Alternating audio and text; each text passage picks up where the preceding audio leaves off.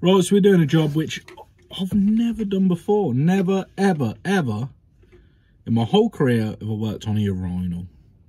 Just never fitted them. Never done any maintenance on them. So this is the first for me. Now, customers called up and they've said terrible smell coming from the urinals. Lovely. Just the call that you want to have.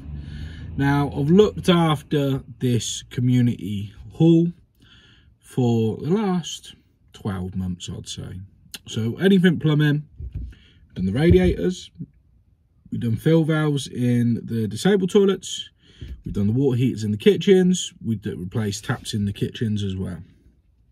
So this is the first time working on the urinals. Now, he was not sure, uh, the manager of this place, the treasurer, I think he's a, I think it's a community centre, he's probably a treasurer. Um, that, sorry, I like, why, why is it, why does it sound funny? And then was because I realised I had this under my mouth. Um, the treasurer was called up and he, he said, uh, yeah, it's not, it's not, it smells. I'm not sure whether the waste is blocked up or whether or not it is flushing. Now it's going to have a sort of timer flush or a drip feed flush. Um, got to have a look at that and then we'll see what's going on with that. So I've got a bottle trap. It's an inch and a half bottle trap because that inch and a half waste pipes. There's someone now, I don't know who he is. He looks like Sparky. It's got to be a Sparky, he's holding DeWalt. Yo, bud! He's got to be a Sparky.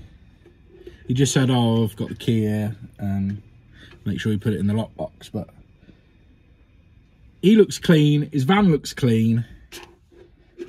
And he's and he's carrying DeWalt, so I reckon he's a Sparky. So let's have a look at a bottle trap anyway.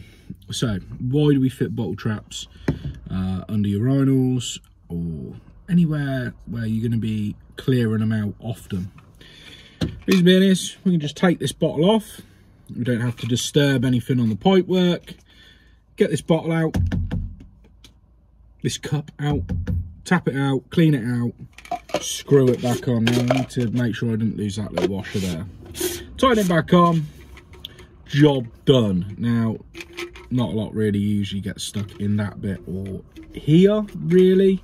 Um, it mostly gathers in this cup. So as you can see, the water flows down and it has to go round the sides, up, and then out. So they're not ideal for uh, kitchen sinks, really. Anything where anything too big could get down in this side bit and block up.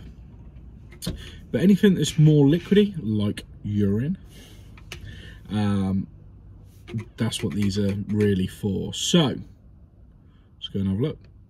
I didn't. I got a bit worried when I first came in. I was like, "Is that radiator leaking?" And then I realised, actually, if we just look around the edge, I think someone's mopped, been in and mopped the floors earlier. Did make me worry though. So let's go to the men's urinal. I mean, that's not going to be a women's urinal, is it? Let's put it that way. Here they are.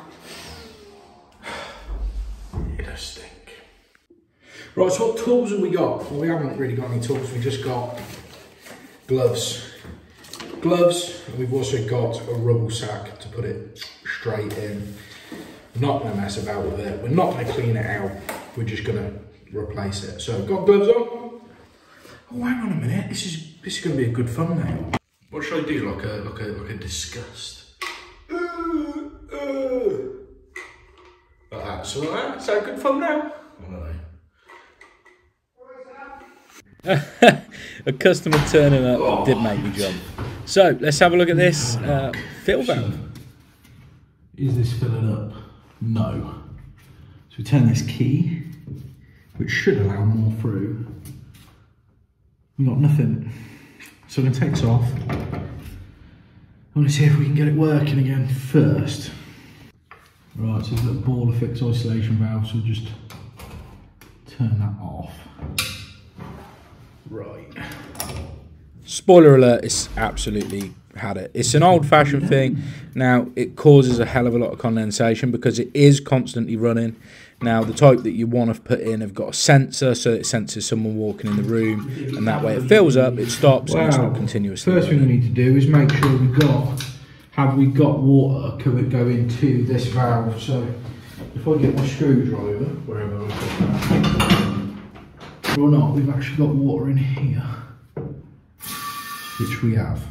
We got water there.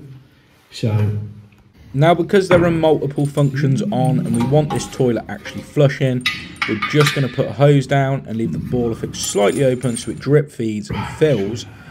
Now, that will just fill up to a certain level and then flush itself.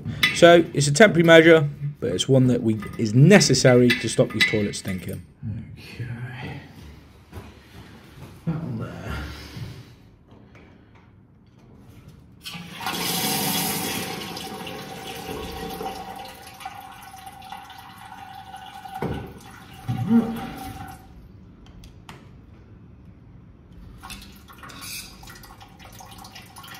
Right, so that looks good for now, so let's get on to the trap.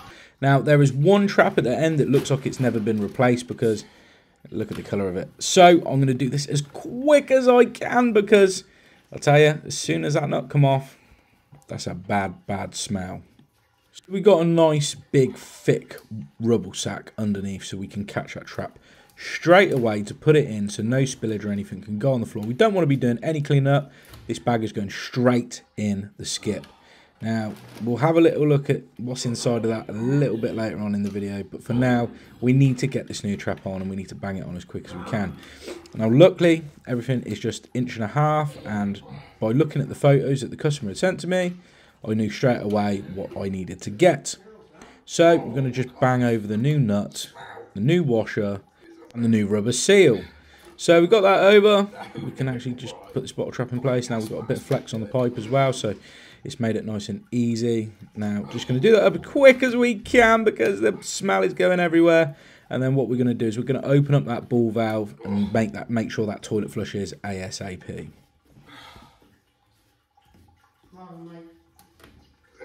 So can you blame me for swapping it over rather than cleaning it out? Because that's just body salt. Ah, yeah. Oh, I always forget. Always. Every time I forget. If you like this video, give it a like. And if you, do you want to see more of this sort of stuff, hit that button down there. Not the one on screen, that, but the actual, the real one, like the actual one, not just the like the graphic. That one.